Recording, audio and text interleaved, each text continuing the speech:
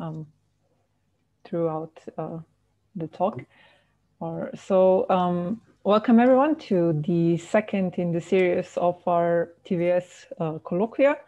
Uh, today um, we have as a guest speaker uh, Marc Moniez. He is a former particle physicist at the French National Center for Scientific Research, where he worked on the search for the top quark with the uh, UA2 experiment at the proton-antiproton collider at CERN. Uh, he turned to astrophysics in the early 90s as a founding member of the EROS experiment, which was one of the discoverers of microlensing. Mark later also launched the subject of the interstellar scintillation, the topic he will describe in today's talk. So Mark has been a part of the Rubin and of the DESC science collaboration since the very beginning. He contributed to the CCD readout electronics, uh, to the holographic disperser currently under commissioning in the auxiliary telescope for atmospheric calibration, and also to methods for the measurement of photometric redshift. Uh, recently, he became involved with large-scale structures and cosmology with Rubin, uh, also with radio astronomy techniques, and he's still actively involved with uh, microlensing. So it's a pleasure to have you here, Mark, and please, the floor is yours. Yeah, thank you. It's my thank you for the introdu for this nice introduction. So, uh, uh, hello everybody. Today uh, I will speak about uh, a new technique to search for um, for interstellar uh, molecular gas that could be part, a significant part of the of the galactic uh, hidden mass, galactic hidden baryonic mass, under the form of uh, of molecular hydrogen, which is uh, a type of of baryons which is which is especially difficult to, to detect. So, uh, so the question is to know where are the Milky Way hidden baryons. Uh, what we know since now a few, at least one or two decades, is that it is not made of machos. Can you see? Yes, you can see my mouse, I suppose.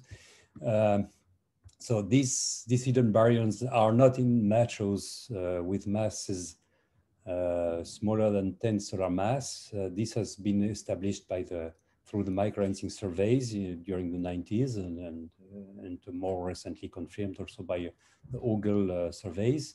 And here on the on the on this plot, you see the various exclusion plots of the structures of the dark matter of the fraction. So this is the maximum fraction of the dark matter that can be uh, that can be uh, made of structures with the masses written in abscissa.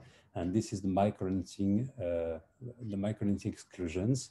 And you see that there is a very little space, very little room for uh, objects made of, uh, of compact, uh, of compact objects. So the proposal that I would like to make here is to search for objects, uh, not compact objects, but diffuse objects made of molecular gas. And this molecular gas uh, which would be a, a basically cold hydrogen, molecular hydrogen, plus uh, a fraction of 25% of helium. This molecular gas could be uh, a major component of the galactic halo. So you see here a picture of the of the galaxy with the halo and you see you barely see these blue lines. Maybe you don't see them but it's it's just a proof that it's hard to hard to to, to be discovered. Uh, so if you if the if this gas is a major component of the galactic halo, hidden halo, then uh, since it is cold gas, it has no emission lines, so you cannot detect by by, by the emission by thermal by by by, uh, by, by uh, emission lines, and uh, also the the medium is is very transparent because this is due to the fact that the hydrogen is the is a perfectly symmetric molecules, and you have many modes that are forbidden with the with the, such um, um, asymmetric molecule. So no way to see it by emission or by uh, or by absorption. Uh, this this cold gas should be uh, concentrated in a thick disk or uh, in the galactic halo. This is a low metallicity region of the galaxy. And uh, the point is that if it makes 100% of the halo, then uh, my question is uh, has does anybody has an idea on the column density uh, of this gas from us to the galactic to, to, to the next galaxy, which is the Large Magellanic Cloud. So my question is, what do we have an idea on the on the column density? I mean the the, the, the mass per square meter. If you look at the direction of the Large Magellanic Cloud, assuming that all the galactic halo is made of uh, of uh, is is distributed uh, in this line. So uh, usually um, people are not do not have a clear idea on what it is, and this is not much. This is only 250 grams per square meter. So that's the column, the Coulomb, the equivalent column from the sun to the Large Magellanic Cloud, only 250 grams per square meter. It's a sheet, it's the density of a sheet of paper. It's a very big sheet of paper, but only a sheet of paper. So, uh, and this is, this is, equivalent to three meter of uh, molecular hydrogen under normal conditions of pressure and temperature. So you, you would say that this is, a priori, it looks very hard to detect such quantity, a low, a low density, or low quantity of, of hydrogen. So, well, but we have to remember that we expect, we do not expect this, this um, this uh, material to be uniformly distributed. It should be distributed into fractal structures. And these fractal structures should cover about 1% of the sky in surface. So this is a model predicted by Pfenniger and Combes in 1994. Uh, so these, these objects should be, could, could be clumpuscles of about 10 astronomical unit size. And in this case, if you have, you have if you cover only 1% of the sky, you expect 100, 100 factors, factors of 100 of concentration. So you expect one 1% of the sky, in 1% of the directions you monitor in the sky, you expect some in one in this in this uh, in this 1% of the of the situations to to go through three to to to, to go to through 300 meters of hydrogen. So what uh, should what happens with the light when it goes through these 300 meters of hydrogen? Uh, so these corpuscles are, are, are, they are transparent, that they do not emit light, but at least they should refract the light. And this is the this refraction is the major the major uh, process that will make these objects observable and visible. So the elementary process that is involved in the refraction is the polar, polarizability of the molecule. So we have, uh, we have to consider this process far from the resonance and the polarizability of the molecule is the, the, the, the, the, the, variation of the dipole of the molecule when it is excited by, by an electric field. And this, it, this acts like, like a spring uh, we, when you induce a dipole and uh, you know you have just have to keep in mind the the the the, um, the effect of the classical forced oscillator formalism. So your your wave is delayed and the delay is uh, there is the effect of the of the optical uh, index.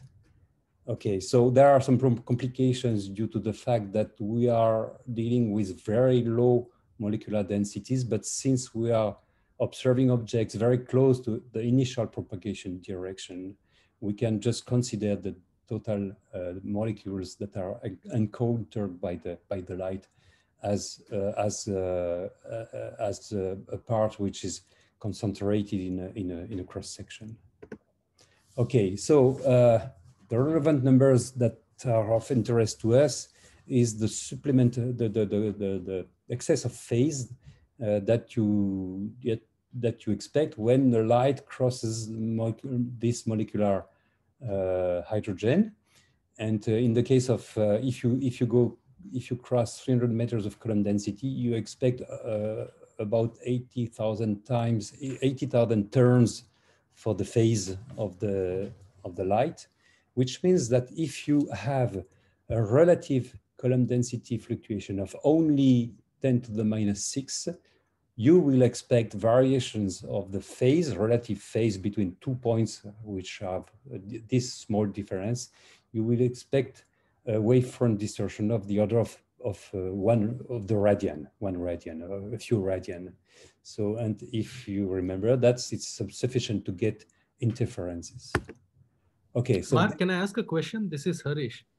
Yeah. Um, uh, at 10 Kelvin, uh, would this hydrogen be in gas phase? Sorry. At 10 Kelvin, would the would the hydrogen be in gas phase? Would it be a It- gas, or would gas. it, or would it sublimate and?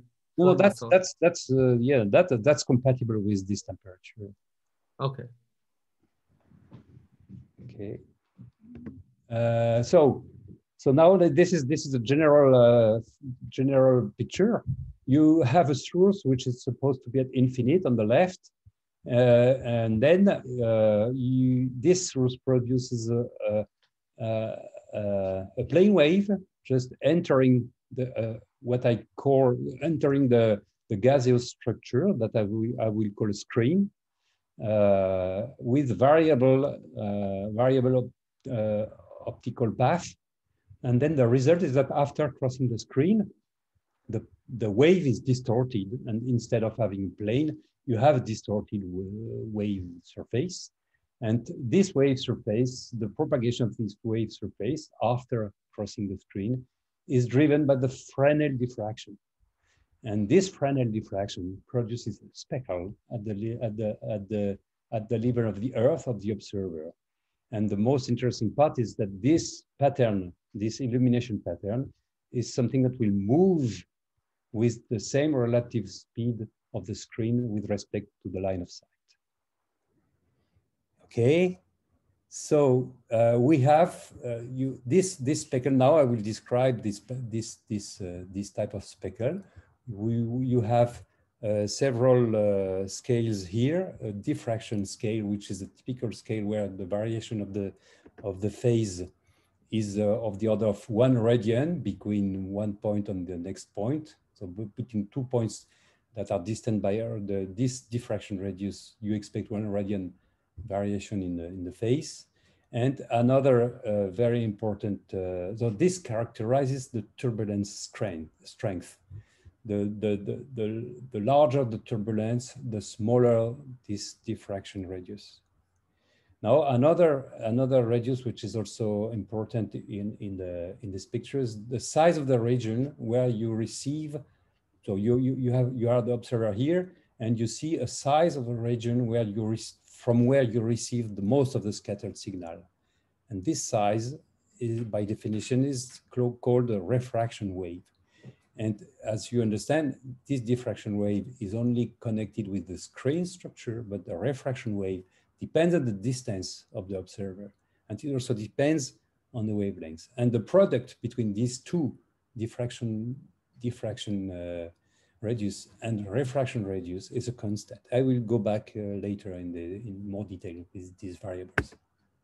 Okay, I want to show you a demonstration. So this plane wave that I showed, I just showed before, I, I can, usually I do an experiment during this seminar, but this time I made, I made a video, so I hope that it will be uh, the same, the same demonstrative impact. So here you have uh, this plane wave can be represented coherent wave by, by, uh, by a laser. The diffusive medium will be uh, made of uh, um, of plastic sheets uh, with different uh, different structures, and the, the interference speckle will be the image on the wall on, on on the wall of my living room. So now you can see. I hope you will see correctly this video. Here we see the effect of a granulated plastic sheet on the propagation of the laser beam. We observe large and variable spots in a relatively small area. Now, here is the effect of a structure with a finer granulation. We see that the beam is more spread out in smaller spots. Okay, so I hope that this is demonstrative enough. Uh, I, what I just, I can now add the comment that you clearly understand why we can take, we can extract a lot of information of a diffractive, of a diffusive medium just by looking the, the illumination pattern, which are, which are very different in the, in the two situations I have shown. So this is uh, this is also an animation that shows the this pattern, uh, an illumination pattern uh, that uh, that uh, moves uh, relative to the to the observer, to move relatively to the to the Earth, and you you you clearly understand that if you have a telescope which is located, for example, somewhere here, you will alternatively receive more or less light from a given uh, given star that emits this type of interstellar interstellar scintillation. Okay, so we made simulations of this uh, of this uh, of this scintillation. For this, we have first to, to simulate uh, uh a phase screen, uh, uh, phase screen resulting from from turbulent structures, gaseous structures. The phase, what I call phase screen, is just the total phase phase variation that is induced by the medium when it is crossed by the by the light. So this is a map of the phase delay for the turbulent cloud. Uh, the model used here is a Kolmogorov turbulence with a, with this uh, power law, which has a slope of minus fifth third. And this is something which is uh, realistic enough. If, uh, we have tried other power laws, but you can see on the right, this is a, on the right part is a, is a real storm cloud. So it really looks like a, uh, it's not easy to make the distinction between the two. So that's that's a good indication that we have a realistic view. So um, um, this is uh, the this uh, now this is not anymore the the this is not the screen. This is the illumination pattern on Earth that we expect on Earth. If you have a point source, perfectly point source, a monochromatic point source, this is this is the, the pattern you, you, you expect. And if you zoom here, you see the fine speckle, fine speckle with a contrast or modulation index of about 100%. Now you have several complications in this. We never observe monochromatic. We observe through a passband filter. Uh, here is uh, what we expect if you go, if we see through the, the KS passband, which is 2.15 micrometers uh, near near infrared. And what you see, you do not change very much the large structures, but in the small structures, which is the same zoom here, you start to blur the structures because you superimpose you superimpose uh, interference uh, patterns from different uh, from different wavelengths, and you lose the you lose a factor of two in the in the modulation index the worst happens when you remember that you are we never we can never monitor point source but we always monitor extended sources which are stars. And this is for example for uh, small stars which is a little bit smaller than the sun. And uh, what you see here is that um, um, you the modulation index here uh, the, the, the, the, the pattern the illumination patterns here results from a convolution between the point source uh, pattern with the with the disk surface of the of the source. And then this is why you you completely blur the, the small structures and you barely see the the largest structures and you lose a lot of modulation index a lot of contrast. The modulation index you expect is is now only a few percent now, so if you if you add both effects, extended source plus polychromatic effect, so the the the the, the fact that you are looking through a, a, a passband, uh, doesn't doesn't cost very much in in in in, uh, in, contrast. The major effect is really the the term of spatial coherence. So now this you imagine you have to keep in mind that this this uh, this illumination pattern uh, moves relative to the, to the observer, to your telescope. So then you have a transverse velocity here. It's like your telescope is moving within this pattern. So you, you are sampling this, uh, this, uh, this pattern and you observe uh, this, this type of light curve. This is what your telescope should detect with a typical time scale uh, that I will, uh, it is related to the to the um, to the refractive uh, to refractive radius and uh, uh, a modulation index of the order of a few percent.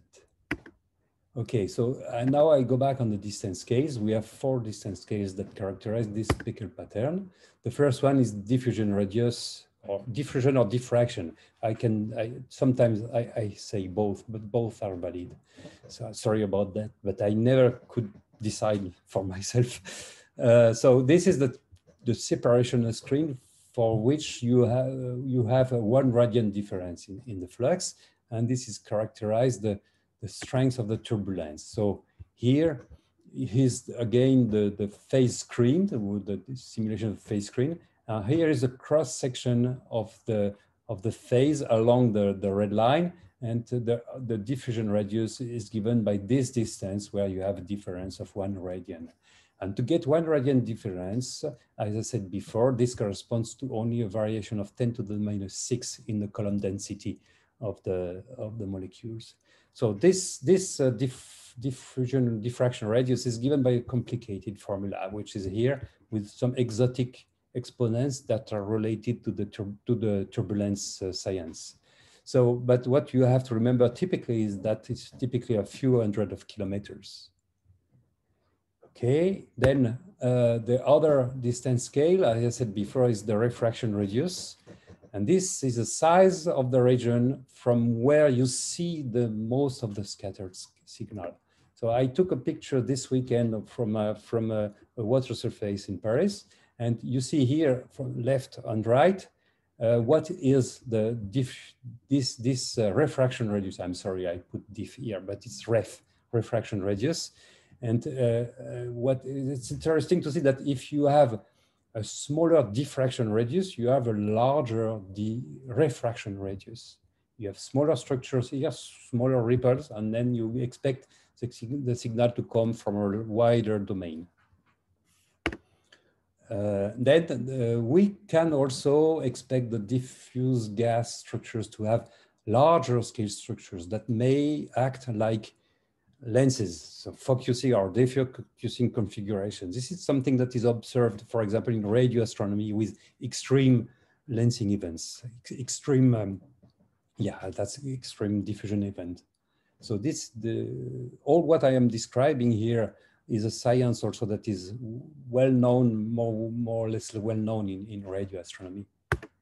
And uh, finally, the, the fourth and most one of the most important distance scales is, as I mentioned before, is the projected source size.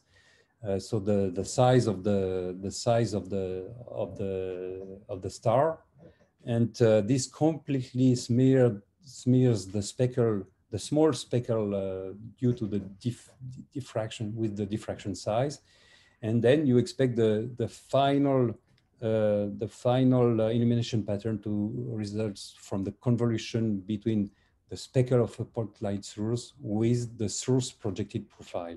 And this critically impacts the contrast of the illumination pattern. Here you see, for example, the very basic, very basic explanation. It's the basic explanation of the spatial coherence. You have, you have here the source, here is the observer, and you, you just assume a very simple uh, screen with just a step of, of phase. And this is, this is the, the figures, this is diffraction figures you expect coming from this point. And this is the, the figure, the other figure in, in, dotted, in dotted lines. This is a figure you expect from the other extremity of this diameter. And what you observe is the, is the, is the superposition of this. And then you understand why you lose a lot of contrast because of the size of the source. Okay, so back to the previous picture. That's, uh, I think that now uh, you have seen the way to go from this point source uh, point source illumination pattern, a point monochromatic point source, to uh, the realistic uh, scintillation pattern that we could expect on Earth. So we have, uh, so I said that the telescope should see a, a, a, a variable uh, light curve from such a star, a star that that that uh, that submits this scintillation, and uh, the first observable is this ref, refraction time scale. Uh, so you just the ratio between the refraction time scale and the, and the apparent velocity of the illumination pattern with respect to the line of sight. And uh, the interesting point here is to see that the typical time scale is of the, of the order of few minutes. So it's between minutes if the diffusion radius is uh, is uh, is a smaller to uh, maybe hours if the diffraction radius is very large.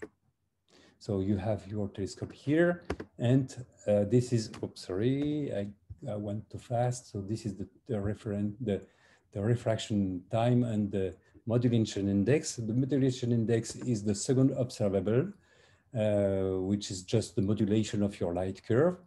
It's, I said before, it's essentially depends on this on this uh, scale on the on the size of the source and also on the refraction radius. And but do not depend on the details of the power spectrum of the fluctuations in the in the screen in the in the gas gaseous screen.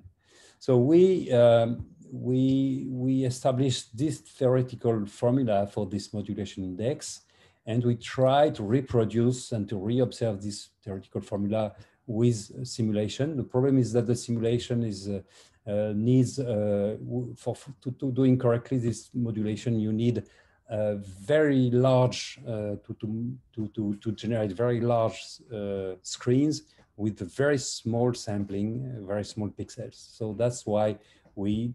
But but the advantage is that you can do when you generate one such screen, you can generate several uh, several crossing of this screen, several observations and several timelines. So what is nice to see that we had we have a correct theoretical estimate and the modulation index is of the order of a few percent if you assume if you put the sun at 10 kiloparsecs then you will expect in the red uh, in in the red filter you would expect that uh, when you look through a cloud which has a diffusion radius of 1000 kilometers, you will expect 2% fluctuation uh, modulation index. Okay, so what are what will be the signature of the scintillation? Uh, you expect uh, the light curve to be stochastic, which is very different than random. Stochastic means that you have some some some statistical characteristics that are reproducible in time and uh, random is uh, just uh, you have no correlation between uh, the between the measurements. So you have you have an autocorrelation you have because you have a power spectrum. So uh, you expect the characteristics time to be uh, a few minutes. The modulation index can be as high as five percent. This modulation index decrease if the uh, radius of the star increases, that that's some the that could be some signature also if you have a lot of scintillating events. And this modulation index will uh, obviously depend on the cloud structure and basically on the diffraction uh, diffraction uh, radius. Uh, another other signature of pro propagation effects about chromaticity, I would say that uh, we would we expect chromaticity only if we are able to see the smaller structures, which is uh, probably hopeless with uh, standard uh, sources. But in this case, uh, so for the short time scale variations, then we would expect a chromaticity variation with a wavelength. But if you look at the long time scale variation, then the chromaticity will be very, very, very weak. But the interesting uh, most interesting signature is probably the, the correlation between the light curves that are measured or the decorrelation between light curves that are measured by two telescopes which are uh, uh, which are uh, at large distance.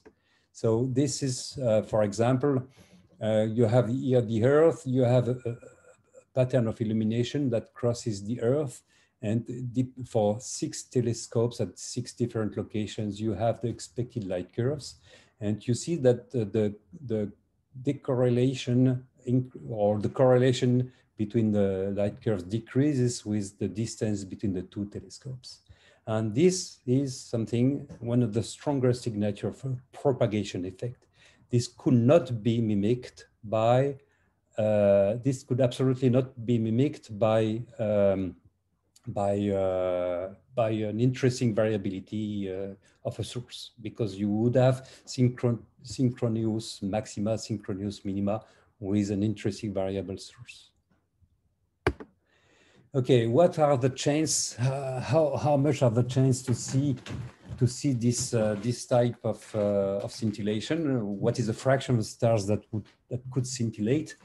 So this maximum fraction of stars, if you look to the Magellanic clouds, should be of the order of 1% if you assume that the halo is completely made of this type of gas. So I said before that the maximum would be 1%.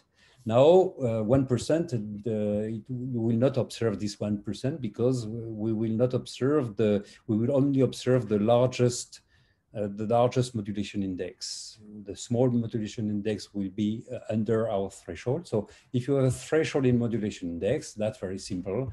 The maximum is 10 minus 2, and you multiply by the fraction of the gas, which is turbulent enough to produce uh, a modulation index which is large to uh, your threshold. So we did a test. Uh, we did observation tests during two nights with the NTT for, to test the concept uh, in infrared. And we, uh, we did observations through a Bok globule, which is made of gas, but also of dust. So then we have to observe if you want to see stars behind uh, through through this this gas existing gas you need to do observations in infrared so in infrared we have we had uh, typically a 1000 stars that could be observed in infrared. And we have also the control control sample sample that was outside of the of the globule.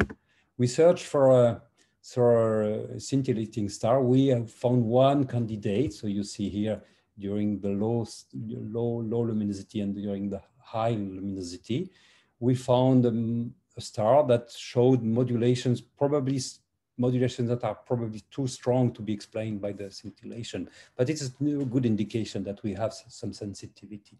And it was confirmed during the two nights, so night one and night two. Uh, and but uh, more more interesting is that from the from the low number of, of variations, we were able to put limits, upper limits on scintillation optical depth. So the first fundamental result is that we were not overwhelmed by an unexpected background, which is something important if you want to continue to do this type of science. So the upper limits on scintillation probability, uh, we were able to constrain with uh, limits, we were able to constrain the abundance of turbulent gas. So now I will focus on B68. We did several other directions, but B68 is the most the most sensitive direction. And this is the maximum optical depth. This, this curve shows the maximum optical depth. So that's a probability for scintillation as a function of the diffraction radius of a structure which could be in front on the path of the light. For example, you read this like this. For uh, if you look, uh, you want to know what is the fraction of objects what, what if the fraction of the surface of your of your globule that contains gas with diffraction radius smaller than 60 kilometers, which would be very strongly turbulent. So this fraction, this maximum fraction of gas, uh, uh, fraction of the surface was uh, only 10%. So that's a way to exclude contribution.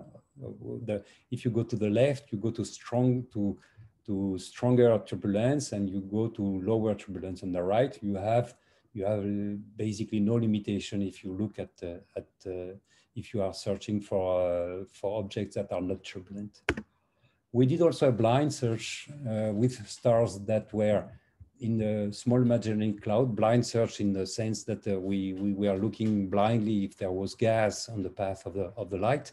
And uh, again, we were able to uh, and we are we we were already able to to to exclude the, the, the uh, some uh, some quantities sort of in, in terms of optical depth we were we were able to um, to exclude some uh, some uh, models of the clumpuscules. You know this is the model of the clumpuscules. Uh, if you assume that it is made of 100% of the halo, this is the maximum value for the clumpuscules. And uh, this is the smallest uh, diffraction radius that is allowed for the clumpuscules. It corresponds to the densest clumpuscules. And you see that we were already able to exclude uh, a small part of these of the possible model for the clumpuscules just by by two with two two nights of observations. So we exclude that 100% of the halo could be made of clumpuscules with a diffraction radius uh, smaller than uh, 70 70 kilometers, for example. Now, the interesting question, the most interesting question to us is to know what we could do with the Vera Rubin telescope. So I showed you that we, to, to, to, to search for this turbulence, for this scintillation, what I call interstellar scintillation, we will need for long series of short exposures because we, we want to have a, a, a short, uh, very fast sample of light curve. So we need short exposures from the same uh, wide field. We need a wide field because we have no ID, no clear ID on the optical depth of the process. And it also strongly depends on the turbulence. And we will need uh, a very precise monitoring, uh, very good precision photometry. So better than, than one, one 0.01 magnitude, which is 1% relative precision. And as I said before, the we expect uh, in, in the best cases, we expect the, the, the, the, the, the, modulation to be of the order of 1% of a few percent.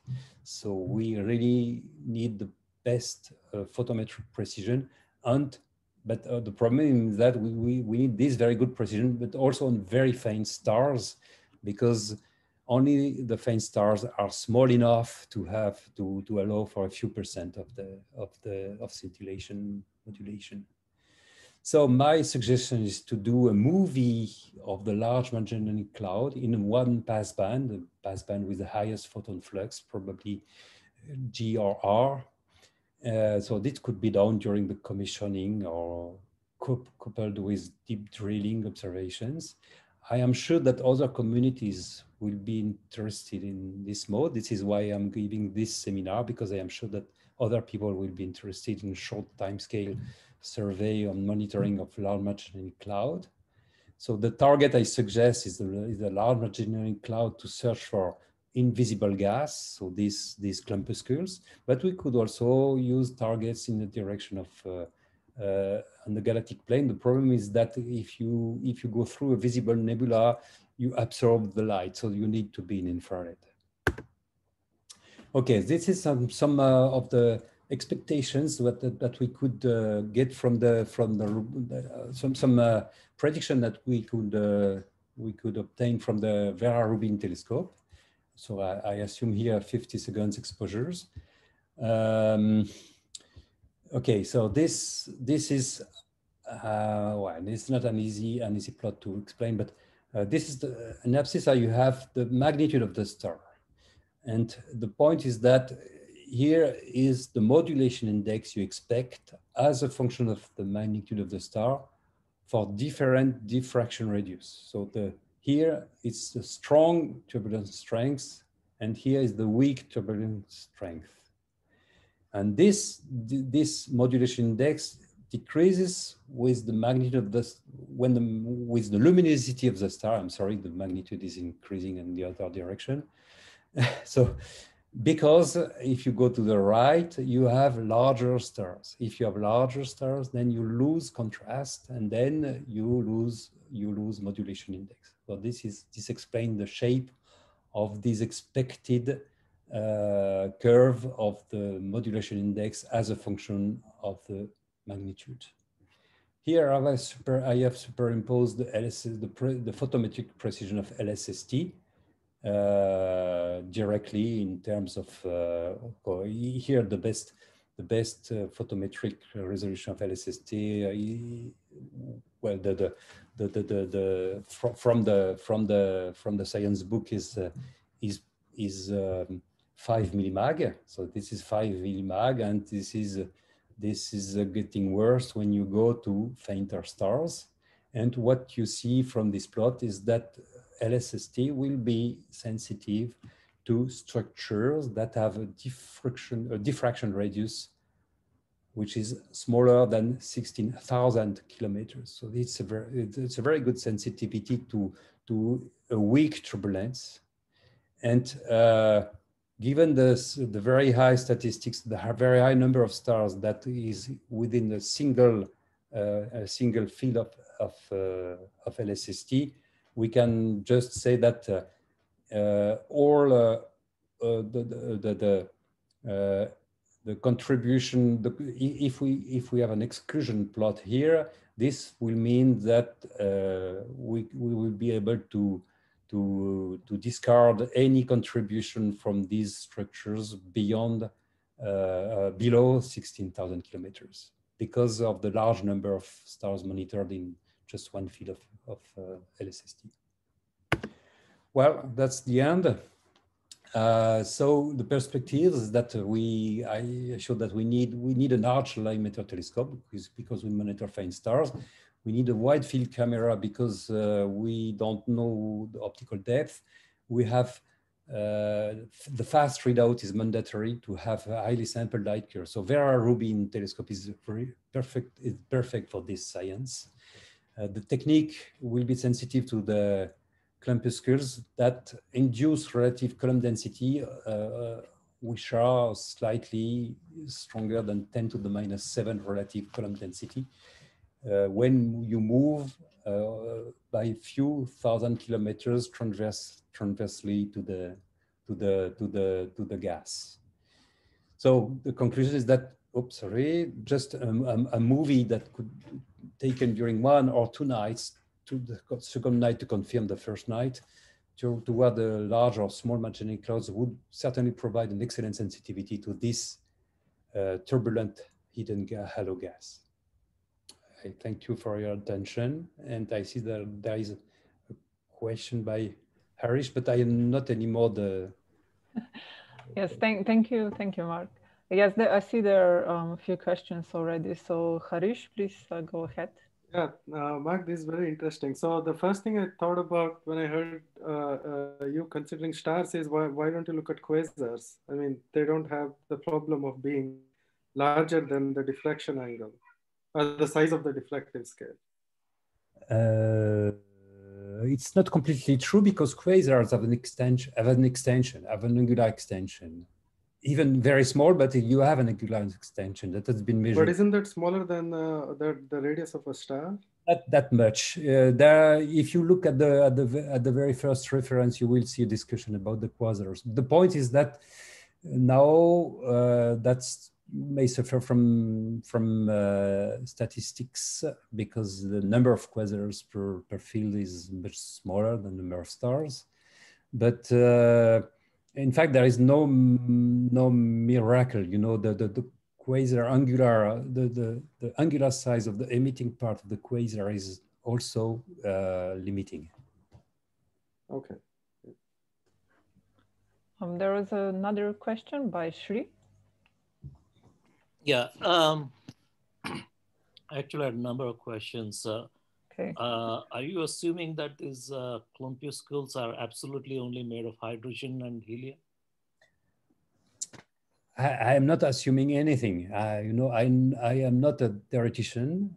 I'm just saying that if the hidden matter is made, the hidden uh, hidden uh, baryonic matter is made of molecular hydrogen plus helium, this is this is this is a type of, of hidden matter. No, no, I understand the, the hypothesis, but you know we have to get into reality here, and uh, the reality is that we see um, metals even at uh, great distance from uh, galaxies. So this suggests to me that early on uh, there has been a lot of mixing of metals and uh, gas, and if so, they're much much stronger uh, atomic and molecular line signatures of these clumpuscules and just absorption.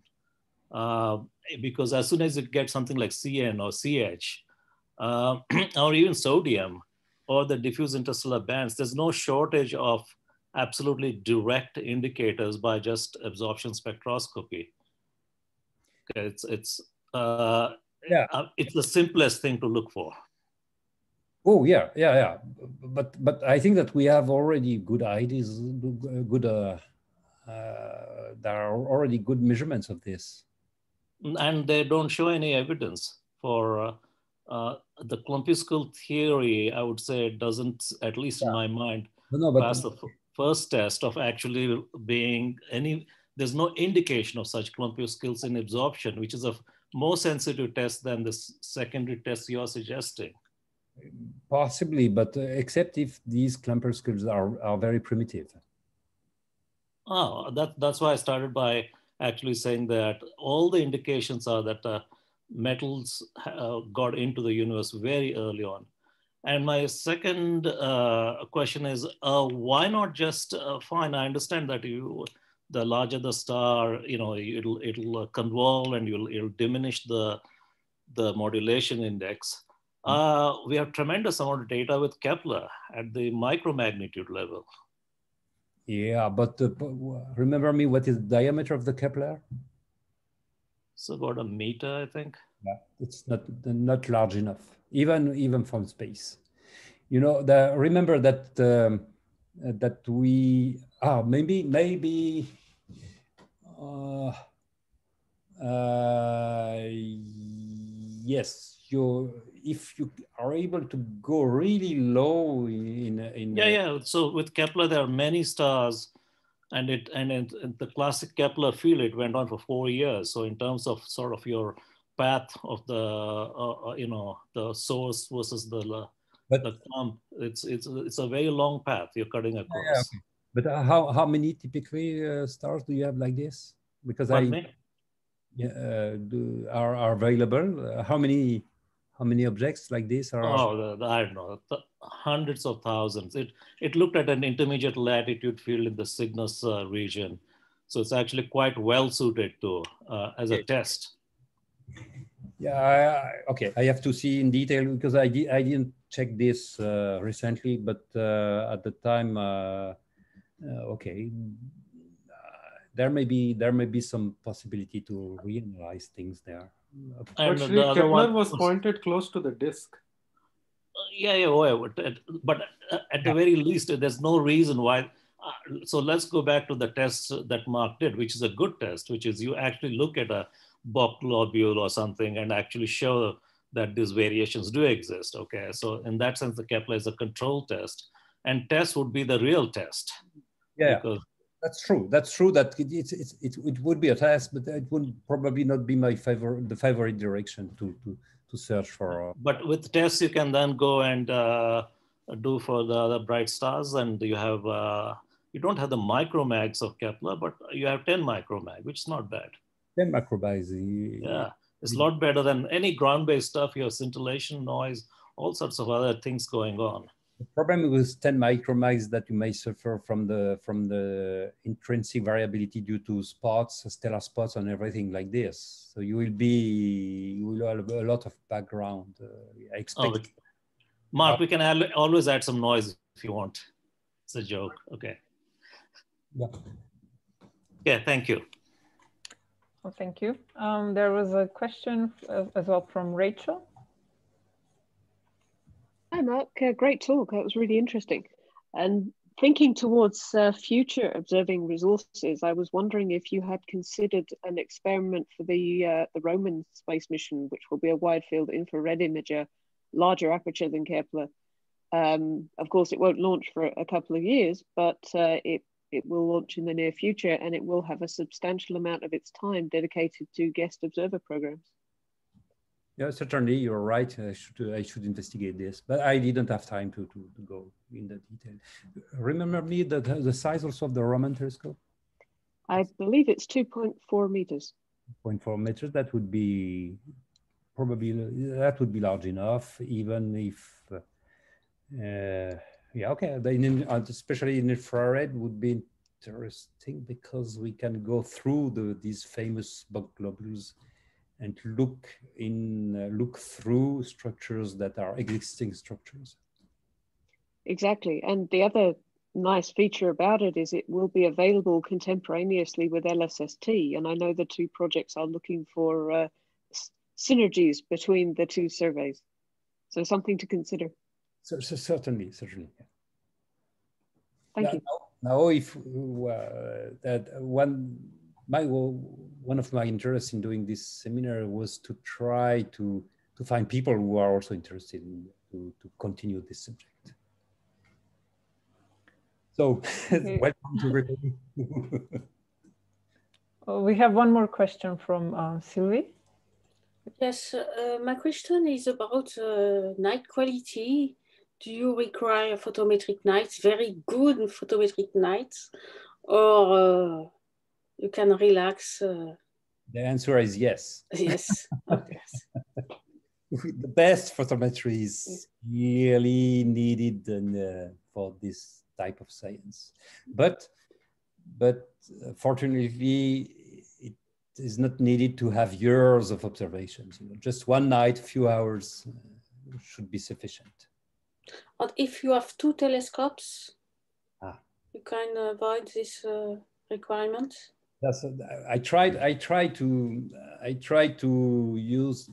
I made the time request with the the two Magellanic uh, Magellanic telescope Magellan telescopes unfortunately. But uh, you know, it's not easy. You have to find, uh, you have to find, uh, you have, you need to have good conditions in both observatory at the same time. You need to find a common field, uh, not too low on the horizon. That's okay. it's not it's not easy, but it's feasible, and that would be the the, the best signature, yeah, definitely. But uh, unfortunately, it was not. Uh, it was not uh, it was not accepted. So. Okay, thank you. There is another question from Rachel. Sorry, just to follow up on that idea, I wondered if you considered using um, Euclid and uh, the Roman space telescope simultaneously. They'll be both at L2, but about 100,000 kilometers apart. Yes, uh, uh, the question may be uh, maybe the field, the size of the field may be a little bit too small for Euclid. I have to check this. Yeah, but that, that's it's worth checking. Yeah. yeah but I was wondering if you could use that plus simultaneous observations from LSST, and yeah. you could disambiguate the um, the stellar fluctuations because you'd have um, long coverage at different wavelengths. That that would be great. Yes. Yeah. Mm.